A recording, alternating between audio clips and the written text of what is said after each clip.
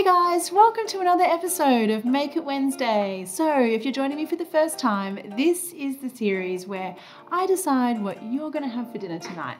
Because I think for me, you know, Wednesdays, it's a tough day. I've sort of done Monday, Tuesday. I don't know what I'm cooking tonight. Well, now you do know what you're cooking because I've decided we're going to make.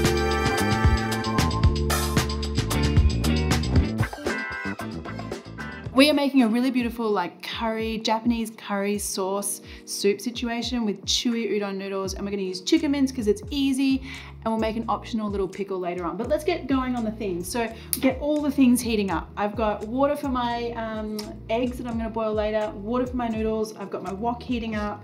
Just gonna add in a little bit of oil there, get that heating. And then we have chicken, which I'm gonna add later. I'm doing chicken mince, you could do pork mince here as well. And then I'm just gonna slice up an onion here. I feel like it's really tricky navigating the supermarket at the moment. Like so many things out of stock, um, so many things that you wouldn't expect to be expensive, very expensive all of a sudden. So I'm really having to like check the price of things as I'm putting them into my trolley. Um, so which is one of the reasons why this was a good dish for me where I am in my area. I know all over the world it's a little bit different. You might be having shortages of different things in different places, but um, for me, chicken mince was readily available. Uh, I do love to have these packet udon noodles in my cupboard because um, they're shelf stable and I can keep them pretty much indefinitely. So they're a great staple to have. But yeah, it's crazy. What's expensive or what's happening in your area? Let me know. So at the moment here in, um, in Noosa, we have lettuce for sale, heads of lettuce for like $12. All right, so I'm just slicing up my onion here. So a couple of things we're going to be using today to make life a little bit easier. One, we're going to be using our udon noodles, which you can grab straight out of your pantry. Two, we're going to be using some Japanese curry paste. I love using this stuff. It's so easy, has a great flavor. Um, lots of different brands in different supermarkets. So just grab one that probably is suitable for your family, like a you know a mild if you've got kiddies around. Um, you can also get more spicier versions. So I'm going to be using that. All right, get my chicken mince in here as well. Don't forget guys, ask me all the questions you want. If you have some requests for maybe dishes that use specific ingredients that you use a lot at home, please do pop those in the comments. I'd love to know. Because really this series is supposed to be as handy as possible for you guys. Actually, I've been really inspired lately. I've been making quite a few of my Make It Wednesday recipes at home, which is good. So you guys inspire me right back. So great. Okay, I want to let that chicken sear and just cook through a little bit more. So in the meantime, let's get started on our daikon pickles. So this is an optional extra if you have the time while you're doing the bits and pieces. So I just want some nice fine slices of my daikon. So you can grab daikon from um, most Asian grocery stores.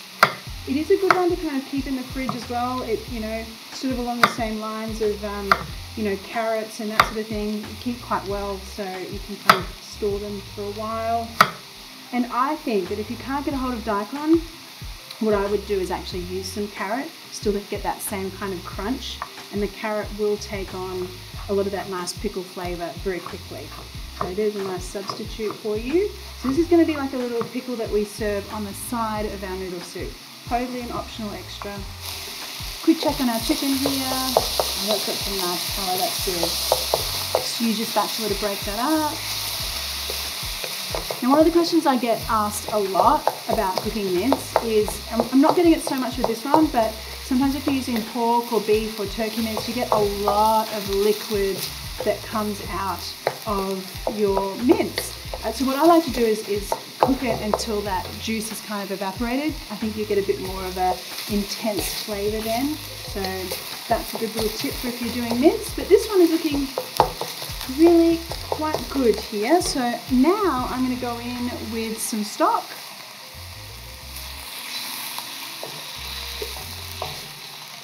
Some soy sauce, some mirin, and then our curry roux it even just smells like Japanese curry. Oh, just let that come to a simmer there. All right, I've got my water for my eggs boiling. I'll just turn that down so they don't crack too much. Okay, two eggs. get my timer ready. So, I mean, everyone does boiled eggs differently. Um, I'm a bring the water to the boil kind of person, and then I set the timer for six minutes. That's like a soft boiled egg situation for me. So, eggs in, and then I also like to give the water a swirl so that the yolk of the egg centers into the middle rather than sort of like sitting on the outside. Um, I know really finicky little things, but they all make a little bit of a difference. All right, I'm just giving this a bit of a stir here just to try and help dissolve our curry blocks. All right, back to the pickle. So daikon, sugar, rice vinegar, soy sauce, sesame oil. And again, these are all ingredients that I typically have in my pantry, so very easy to kind of make this up once you've sort of got your pantry stocked with some of these things. Um, now, sesame seeds as well. Just toss that together. It's such an easy thing to do, I think. Even if you did it with the carrot, it would be really nice. Now have a look at our soup in here. And this is the cool thing about using those curry blocks is that they obviously have a little bit of a thickener in there and look at that. That already just looks so like wholesome and comforting and lovely and lush. Like it's all shiny and glossy. Oh, that is one really big cheek there. I love that. The water for my noodles looks like it is now boiling. So we get those in there. Okay, this is great. So this is what this is the situation you want to get to. And if you guys are coming back to watch this um, and cook along at dinner time, hopefully you've got your egg, your noodle here, your sauce simmering, you've done this, and now we're just gonna slice up some little, um, little decorations. Garnishes, I forgot the word for a minute. Garnishes. Garnishes. I think you can decorate a noodle soup. I mean, this is looking pretty delicious right now. Let me get in here and try it. Oh, that's so yum. it's just like one of those, oh, yum, comforting, like, uh, it's almost like that, I don't know, the, the, the Japanese version of like a comforting chicken soup or something. Mm, that is yum. And with your udon noodles, they don't require very much time in this, this water. You just wanna like kind of coax them apart and then rip them straight out so they don't overcook. That's good. Okay, right, we've got timer. It's always so aggressive, that noise. I wish there was like a nice, like, your eggs are ready, your eggs are ready kind of alarm. I need to invent one of those. Anyway, I reckon this is going to be quite a good time, is my prediction. A little taste of my, my daikon. Oh, that's good. Yum! The sesame oil, the sesame seeds. It just makes it so interesting, even though it's such a quick, easy thing to put together. All right, let's do this, guys. So I have my noodles here. I'm just gonna slice up a little bit of um, seaweed, some nori, which I always seem to have in my pantry as well. And see, this is the thing, like small little things like adding a little bit of not sliced nori to your noodle soup or something like that. It doesn't take that much time and it's a pantry staple ingredient that you can keep um, that won't go off in your um, pantry. So, you know, these are all nice little added touches that are easy to do. All right, Where's my ladle? There it is, right in front of me. Look at this. Look at this. Look at that. It's just so thick and glossy and amazing. I'm very impressed with myself. if you are cooking along with me, I hope you are just as impressed at this point. All right, soup is going on. Now, bits and pieces here. I have a little bit of pickled ginger as well. Side there. My egg. Moment of truth. Looking good. Nice. That is the definition of jammy. Perfect. Okay. A bit of your spring onion there. Some nori on the side. And then just a few bean shoots as well. Okay, and I mean, to me, that is like a really exciting Wednesday night dinner. You know what I mean? Like it, it looks cool. Um, it has a flavor that's slightly exotic, you know, a little bit of a Japanese curry vibe.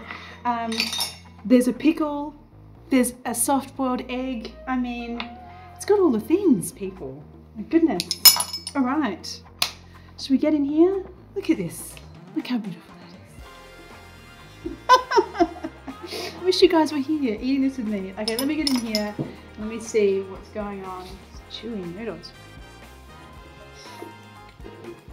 Oh yeah, that is so yum.